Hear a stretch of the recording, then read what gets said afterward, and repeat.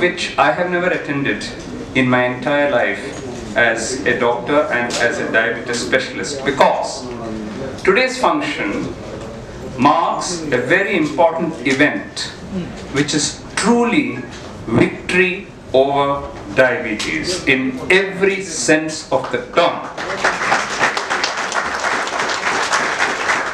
You know the famous adage that the proof of the pudding is in the eating. There's no point talking about it. It's very sweet, it's very this, it's very nice, it's very soft, it's very. When you put it in your mouth, then you know whether the pudding is good or not. Similarly, if I tell you that we can win over diabetes, but then I don't show you the proof, then it's just rhetoric, it's just empty rhetoric. But here, ladies and gentlemen, we are presenting before you the true heroes of diabetes. I googled just to see whether, okay, all over the world this is very common and we're just doing it. I couldn't find a single reference, a single picture, a single article, you know, in the whole world wide net that we have showing people with diabetes above 90 years of age coming for a function and taking part in a function like this. And therefore, I think it's unique. I think it's not only the first in India, I think it's the first in the world. After doing research and telling you this, so we are honoring patients with diabetes who are over 90 years of age and are still doing well. If they're not doing well, they won't be able to come here today. Okay?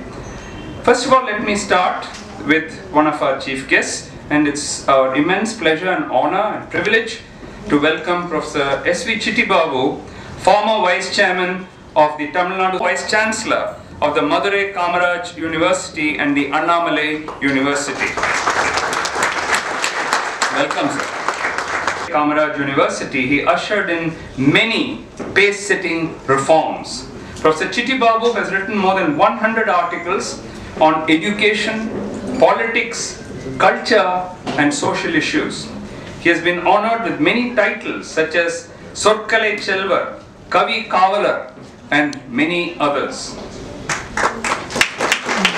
Dr. Chittibabu, by chapter, going through them and then giving me critical comments and saying what he enjoyed best in that and so on. That means his faculties are absolutely 100% working even at this age. And this has relevance to a small short presentation I'm going to make after this. But uh, so thank you sir for your presence. Another stalwart whom I would like to present to you today is a very well-known famous gentleman from Tamil Nadu, uh, Mr. P. Sabanayagam, IAS retired, Government of Tamil Nadu. Mr. Sabanayagam was born in August 1922. He served in the army from 1943 to 47. He was appointed to the IAS cadre in 1947, where he served till 1980, both in the state and the central governments. Textile, steel, aluminium, etc. He used to run, jog, and walk till 2015. Probably still does. In fact, he walked up today. He comes to us regularly for his health checkup, and his diabetes is always under control. He's very witty and often stumps me with his uh, wit.